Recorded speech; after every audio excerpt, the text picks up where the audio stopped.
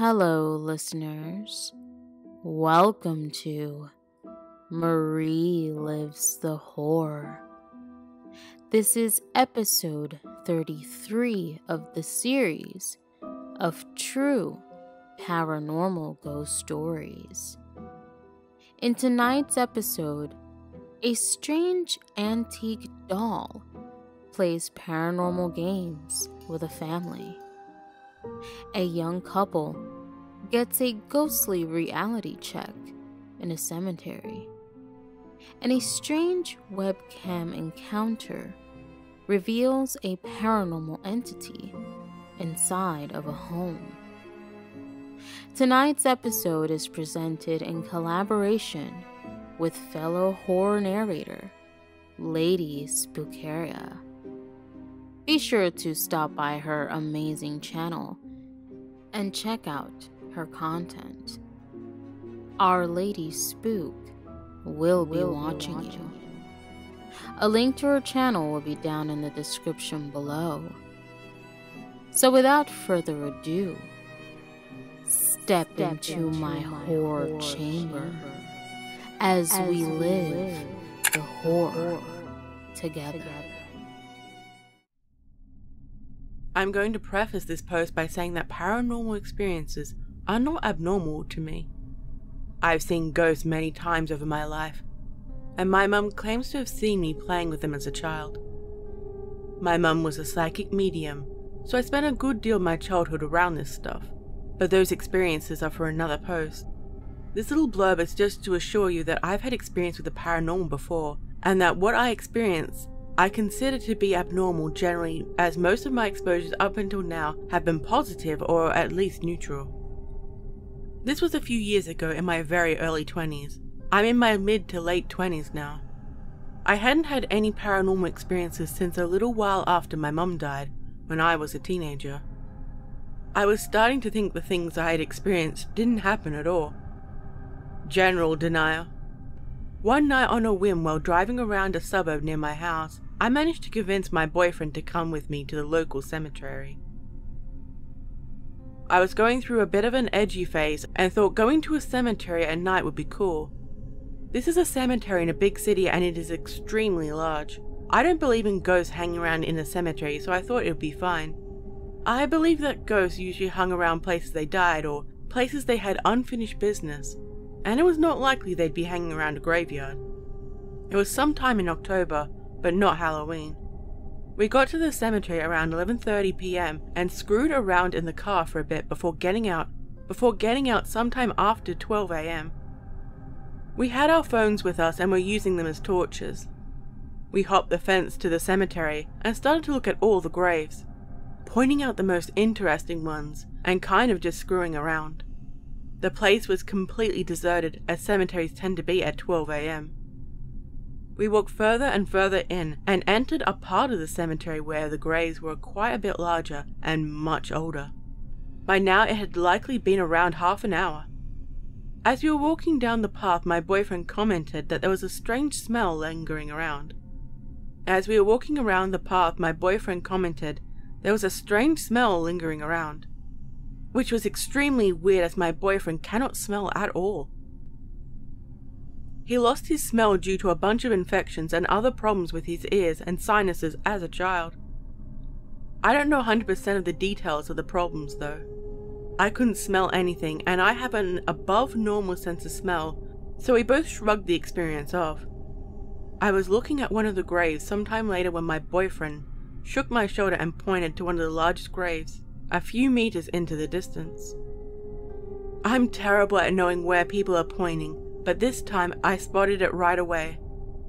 It was a little girl. I'd guess around 11 or 12 years old. She had very dark brown or black hair that looked well cared for and quite long. She was sitting on top of the grave with her legs dangling over the edge. At first, I saw her wearing a lacy white dress, like a nightgown a rich girl would wear. It looked old, but I'm no expert, so I couldn't tell you how old. Maybe 1900s? But I looked away to look at my boyfriend. When I looked back again, she was wearing a different dress. All I remember is that it was red because at this point I was super scared. Something about the whole situation felt wrong to me. I felt extremely fearful, and due to the fact ghosts were very normal to me, this was extremely unusual. I had never felt unsafe seeing a ghost before. It was around this time I noticed that the cemetery was eerily quiet. No sounds of bats, and there were a lot of fruit bats in that area, or any other animals, and the air felt stale and stagnant. We just stood and stared at the little girl for what felt like an eternity weirdly transfixed, and then we both ran for it, up the path, full speed.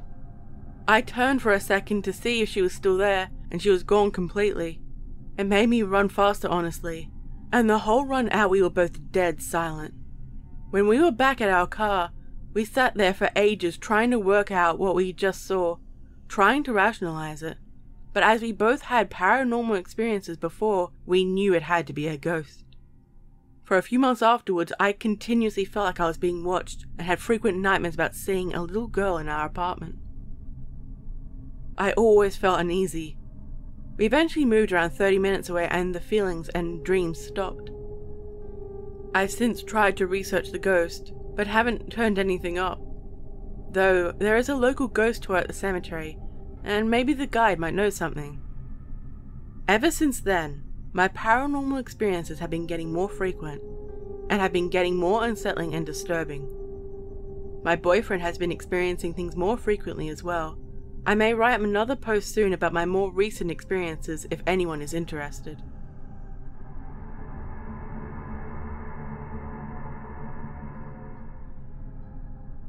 Hello.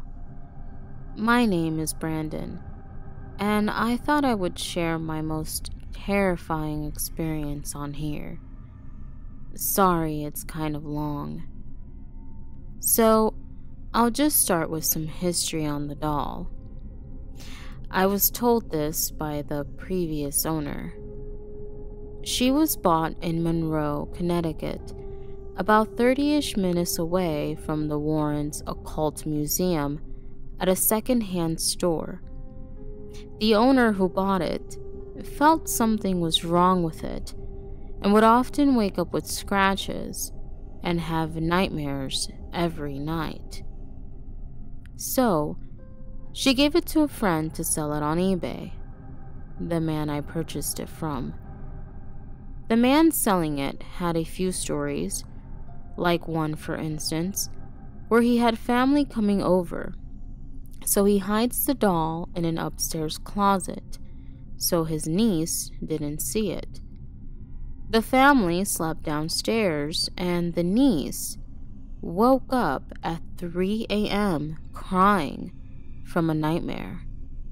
And she described the doll he had upstairs, but she never went upstairs and never seen the doll in person. She didn't even know it was there. So after that experience, he wanted to sell the doll, but didn't feel safe with it, so he put it in a storage unit.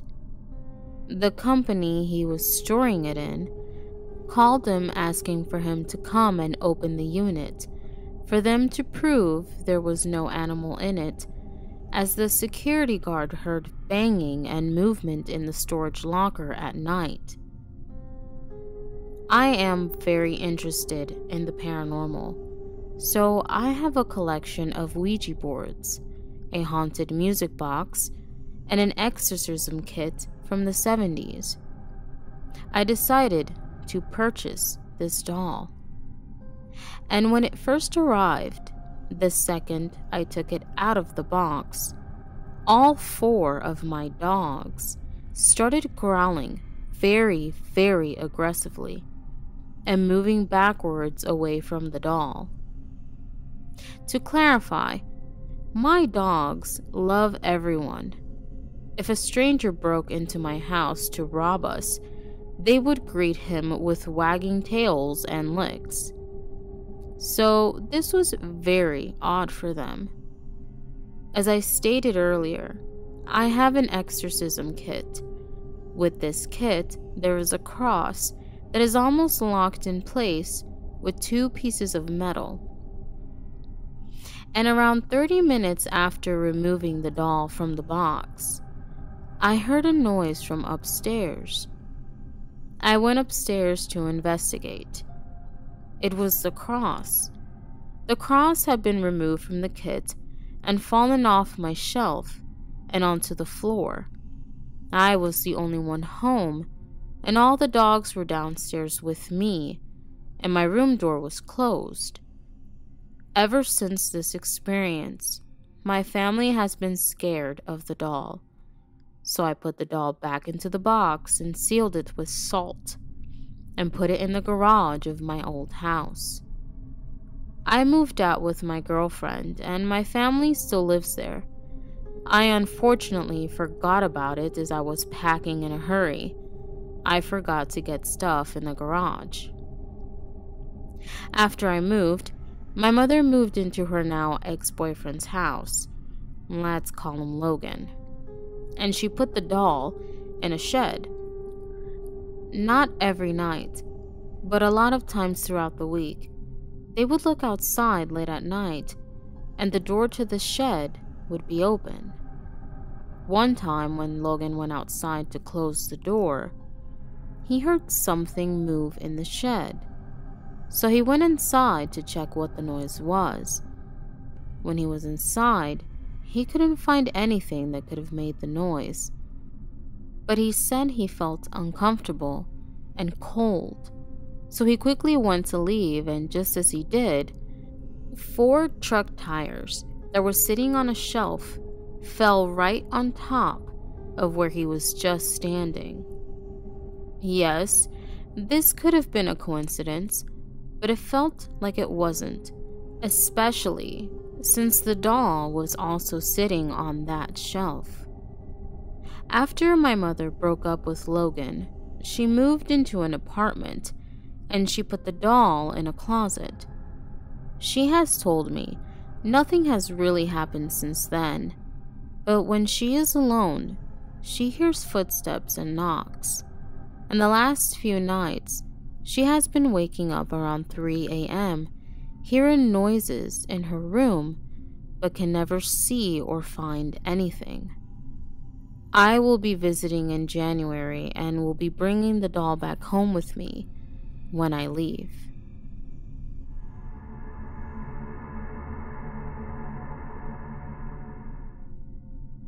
This is pretty long, but worth the read. A few years ago, I was helping my then boyfriend's mum, mother in law, set up a webcam so she could see her grandchildren, who lived pretty far away. I set it up physically for her, then went home to help her walk through how it would work on the phone, so she could see me on the cam. We had it working, we were just chatting when she got quiet for a sec, then asked, Did boyfriend get off work early? Me, no, he's still at work. Mother in law, then who is that standing behind you? Me, turning around. There is no one there. I'm here alone. She's getting upset because she swears she can see someone, and it must either be lying to her or trying to trick her. So I swing my arms around to the side and behind me to show her. She still says she sees the legs and lower torso of a man, and she's kind of pissed at this point and just turns off her cam. The next day, boyfriend is home and I decide to go to mother-in-law's house and talk to her, and explain that I really was alone. And maybe there was something wonky about the cam. We turn on the cam and the boyfriend is on ours to talk to us and make sure there is nothing weird on our end. He's sitting there by himself and after a few minutes, someone walks into the frame. You can see greyish work pants and a grey striped uniform tucked into the pants. Mother-in-law. There he is, I told you. Boyfriend, mum, I promise there is no one here. So I come up with a plan for her to go over to our house and I and father in law will stay at her house and will prove to her that there is no one there. The man just stays there the whole time, doesn't move. Mother in law comes into the frame and sits down right in front of that torso. And she looks around and there is no one there.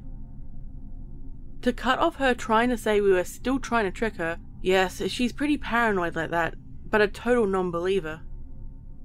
I screenshot the image of the man standing behind her, even though she didn't see anything. She wouldn't use the webcam again, even with someone else. I had been trying to tell people what I've heard and seen things there, but no one would believe me.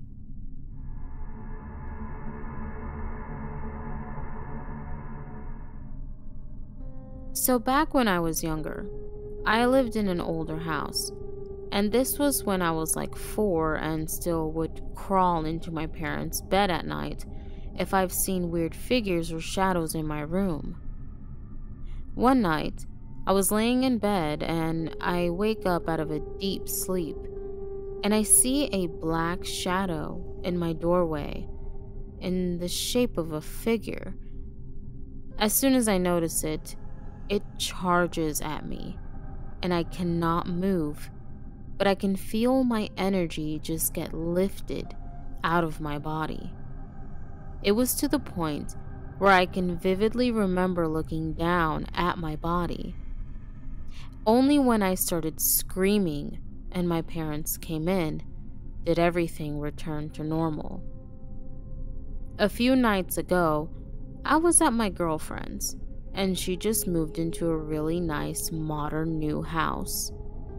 And we were both going camping that night for a PS5, and we decided to drink a little beforehand. Nowhere near enough to even be tipsy. As we are talking on the couch, she asked me to stop and look at the window above her front door, which has a reflection to the steps and the hallway and she asked me if I see a figure standing at the top of the stairs. And I immediately look up there, and without hesitation, right at the foot of the stairs, is a figure. Ever since she had moved in back in October, she has seen and heard weird things and seen multiple shadows move in her hallway at night while she sleeps. I have seen them too when I'm awake in bed with her and she's asleep. She just texted me tonight saying that she woke up out of a dead sleep and saw a dark shadow figure in her doorway. And as soon as it saw her, it charged, and she said she could feel the energy being sucked out of her, much to the same way I had when I was younger. I know this is a long one, and I appreciate the time you guys take to read it because I want to know if something is attached to me and now attacking her, or if she is experiencing something all on her own. Any advice would help. And if you have any questions, please don't be afraid to ask. Thanks, everyone.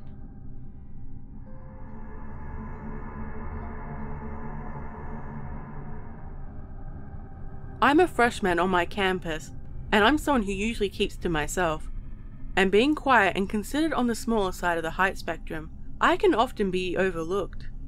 I didn't make many friends and tried to keep to myself, but all that seemed to shift once I started talking to my building RAs. They were friendly and invited me to some events, which I found myself being intrigued by. When I attended their introduction session, I found out only a few others had attended, and all of them seemed to have been quiet, like me. Eventually, conversation started, and given it was close to 9 o'clock, the topic quickly shifted from the stress of classes to the urban legend that shrouded our building. I found myself listening in and was quickly sucked into the accounts told by one of the sophomores. Apparently, the 11th floor, the last floor in our building, was a hotspot for paranormal happenings. Some claimed that the empty study rooms would let out sudden bangs and noises without any real explanation as to how they occurred. The lights would flicker or blow its fuse at random times in the night. Some recalled feeling a heavy weight when entering the boys' dorm halls, but the most chilling out of all of those was the shadow figure multiple students had seen peering out from behind the corners of the hallways. When they tried to get close, the lights would flicker, and the shadow would disappear. As she finished explaining the legends, she was met with some laughs as most didn't seem to believe it. A couple of them merely shook their heads, glad that they weren't staying on the 11th floor. As creeped out as I was, I wanted to see if the legends were true, so I decided that after the meeting was over, I would take the elevator up to the 11th floor and explore for myself. I asked the girl who told the story if she wanted to come with me, and her face paled. No, I'm not brave enough to try to get that thing to follow me. You'll have to go on your own. Sorry. Going down on my own was going to be more daunting, but my curiosity got the best of me. Once the meeting ended, I made my way towards the elevators, pressing the button that'll take me upstairs. I was currently on the 10th floor. As the doors opened, I found it was empty, which made me nervous. This was my last chance to turn back, but I pushed myself anyway. I stepped in and pressed the button for the 11th floor before I would change my mind. The doors slowly closing and separating me from the rest of the gathered group. As it took me up, I began to feel an upset feeling in my stomach, and the elevator felt oddly cold. Once it reached down the 11th floor, the doors creaked open, showing that the floor was vacant of any students. I stepped out and peeked around the lobby, just in case someone had been standing in the halls. Everyone seemed to have already gone into their rooms for the evening, leaving the floor eerily silent. I started to walk towards the boys' dorm hall, where the noises were reported to be heard. As I got further and further down the hall, I could feel this weight on my shoulders, as though something was applying a small amount of weight on them. It was strange, and I felt a chill rush up my spine. I felt like I was being watched or disturbing something. Eventually, I got a bit anxious and began walking faster down the hall wanting to make my way back to the elevator. As I passed by the empty study rooms, I heard a loud bang echo beside me. My heart began to pound and I sprinted for the elevator, refusing to look back in fear of seeing something following close behind. I kept pressing the call button, feeling the sweat beam on my forehead. Eventually, the doors opened and a woman was waiting on the other side. She noticed how pale I was and asked if I was okay. All I could do was faintly nod before rushing on and reaching for the button on my floor. A male from the dorms nearly stopped me, asking to get on. I let him on and asked what floor he needed. It was the second floor. That was where we got our mail. I pressed the button and refused to look outside the doors. Eventually, the doors closed and we began descending down to the second floor. And I felt that heavy feeling slowly lift from me. I sighed in relief, glad it was over. The guy beside me chuckled a bit, noticed how unnerved I was. You alright? You look scared. I nodded again and couldn't say much else. He got off the elevator and waved, but I was too zoned out to notice. I just wanted to go back to my dorm and forget this happened. I went to press the button for the third floor, but just as my finger grazed the button, the 11th floor button lit up. The door shut and the elevator began to climb back up the tower and my eyes widened in horror. That heavy feeling returned, and it felt like someone was standing right behind me. It was so cold. The temperature dropped at least 10 degrees. It was so cold, the temperature dropped at least 10 degrees. Once the elevator stopped, the doors opened, revealing the empty lobby once more. No one summoned the elevator, which only confirmed my fear. I could feel myself begin to shake, refusing to look behind me as I began to helplessly jam the button for the third floor. The lights began to flicker and I closed my eyes, praying that this was going to stop. The doors slowly closed and I began my descent back to my floor, the feeling of being watched still there. I didn't think I could run as fast as I did. As soon as those doors opened, I ran like my life depended on it. I ran into my dorm, locked the door, and slumped down onto the floor. I no longer could deny that there was something in that building, and I could only hope that it didn't follow me. I didn't sleep well that night, and to this day it still freaks me out. And the worst part is, sometimes I feel like I'm being watched. Except for this time, it's in my dorm. I'm never investigating on my own ever again.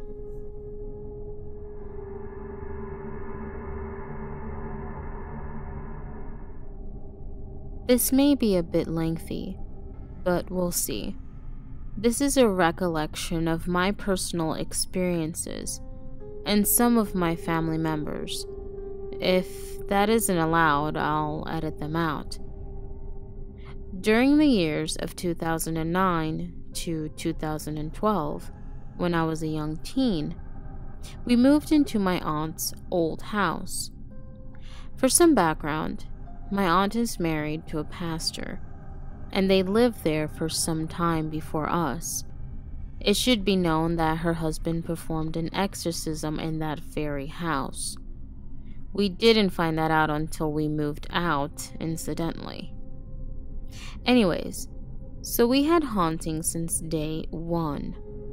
Our beds weren't set up yet, so I had slept on an air mattress in our parents' room, and my brother on the couch in the living room. My mom noticed that the light had turned on in the closet. Did any of you leave the light on? She'd asked. None of us had, so she turned it off and went to bed. A while later, the light, inexplicably, turned itself back on. Okay, it could have been faulty wiring or power, but it gets scarier throughout the years. My mom recalled one morning, wide eyed and pale faced, an event that happened the night before. She had seen the outline of a man, and he was painting in one of the alcoves in the hallway. When she tried to talk to him, he looked at her and threw what she described as spiderwebs at her. She then went back to bed without reacting, but she was spooked the day later. I myself have memories of sitting at the computer in the living room. It was adjoined with the kitchen, and being a teen, I loved staying up until the sun would come out, chatting with my friends online. I would frequently feel something play with my hair and would hear the fridge door open out of nowhere. Weirder still, I had sent my friend a message once with nothing but the symbol quote unquote. Problem is, I was nowhere near the computer when that happened, nor were any family members or pets. We still joke around about that till this day, trying not to be spooked by it. My dad also reported seeing a shadow walking in the house when he was home alone. When he went inside to check, he saw no one, but our Shih Tzu was curled up in the corner shivering. There were a lot of smaller occurrences, like the printer turning itself off and on, as well as the computers. Another weird thing is that whenever I would record videos with my cousin on my laptop, the audio would become distorted. We'd suddenly be speaking slower. I chalked it up to being a shitty laptop, but it didn't happen anywhere else. The worst thing, in my opinion, happened one night. I was sleeping in bed with my mom. I loved watching the show Ghost Adventures, and as such, had been watching it before bed. Horrible idea in a haunted house, but I was 13 and dumb. Soon enough, I began to feel spooked and changed the channel to watch George Lopez instead. I turned it on mute and slowly began to drift off. That's when my mom and I heard a nasty, shrill shriek from somewhere close by. We jolted up, and my mom, half asleep, asked me why I had left Ghost Adventures on. It was still on George Lopez and very much on mute. We never found the cause for that, and my mom claimed she saw a small shadow walking on the floor after. So, yeah, just figured I'd share some of my spookiest experiences. I'll never forget that house. I still dream about it all the time. What freaks me out the most is that when we were moving, I, an idiotic 14 year old, decided to taunt the thing.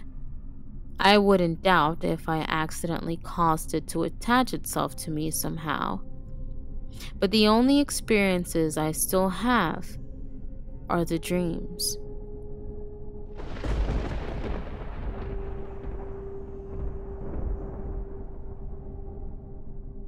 Hello, listeners.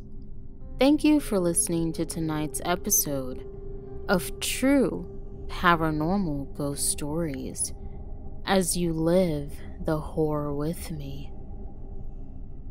I would like to extend a very special thanks to our special guest, Lady Spookaria, for joining me on this episode. Be sure to show Our Lady some support and stop by her channel. If you have a true ghost story that you would like for me to narrate in a future episode, please send your story over to my email. If you enjoyed tonight's episode, be sure to subscribe and click the notification bell to keep up with future content. Thanks again for listening. And as always, I am your host, Marie, lives, the horror.